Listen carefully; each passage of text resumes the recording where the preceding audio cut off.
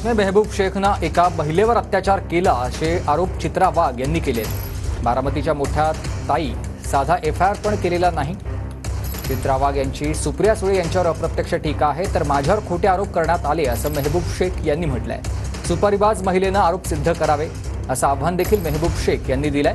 मेहबूब शेख यांनी चित्रा वाघ यांच्यावर अपशब्द वापरलेला आहे. बारामतीच्या मोठ्या ताई त्यांच्या पक्षांचा युवकाचा अध्यक्ष मेहबूब शेख.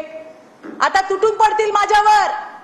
वाटेल तसं आम्हाला बोललं झालं पण मी थांबणारी नाहीये.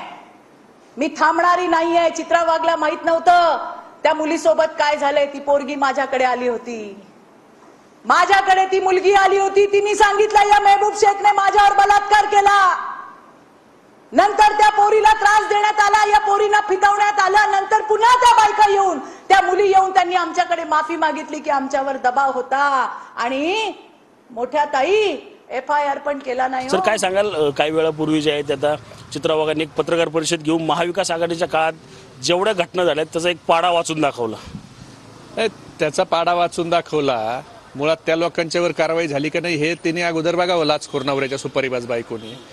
आणि त्यावेळेला घटना घडल्या म्हणून आता बदलापूरची घटना तिला माफ करायची म्हणायचंय का?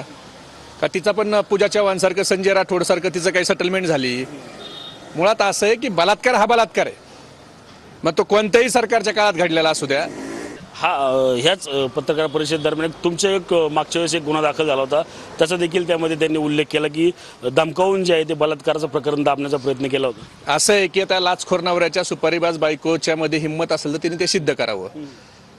त्या मुलीला मी धमकावलं का त्या मुलीला ह्या सुपारीबाज बायकोनी हिचा धंदा आहे. हे तुम्ही झूम करून बघा. त्या मुलीनं नंतर एक फिर्याद दिलेली आहे. आणि त्या फिर्यादीत ही लाचखोर नवऱ्याची सुपारीबाज बायको तिला माझ्याबद्दल कसं खोटं बोलायचं हे सांगत होती. मला कसं गुंतवायचं याची सुपारी घेतलेली ही लाचखोर नवऱ्याची सुपारीबाज बायको आहे. त्याच्यामुळं तिला म्हणावं धमकवलं ना आता तुझा नवीन बाप आता महाराष्ट्राचा गृहमंत्री आहे. त्या नवीन बापाला सांग ना चौकशी करायला. पण आपण पत्रकार परिषद दरम्यान म्हणलं की अनेक प्रकरणं जी आहेत ती बाहेर देखील काढणार आहे असं देखील सांगितलं. काय निर्लज्जम सदा सुखी तिचे प्रकरण काढू ना पण तिला काही तुकडा भेटत नाही तिला काही भेटत नाही असं तिला वाटतंय काहीतरी मला भेटल मी हे फार भाजपच्या बाजूने भोगले तर मला काहीतरी विधान परिषद काहीतरी तुकडा पदरात पडल. मुलीवर महिलावर अत्याचार होतो त्या पीडिताच्या याच्यात म्हणजे कशाची दलाली करावी? आणि त्या मुलींना महिलाला कोणून ठेवतीये म्हणजे ही महिला नावावर कलंक आहे.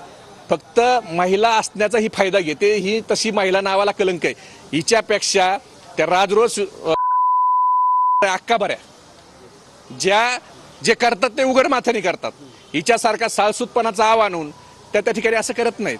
आणि मी तर कधी तयार आहे हो नार्को टेस्ट करायला. तुझ्या बापाला सांग. आणि तुझी कर आणि माझी कर. तू त्या पुरीला काय शिकवत होती आणि मी केलाय का नाही त्याच्यावर बलात्कार. आणि हिच्यावर माझा डिफॉर्मेशन आहे पन्नास लाखाचं.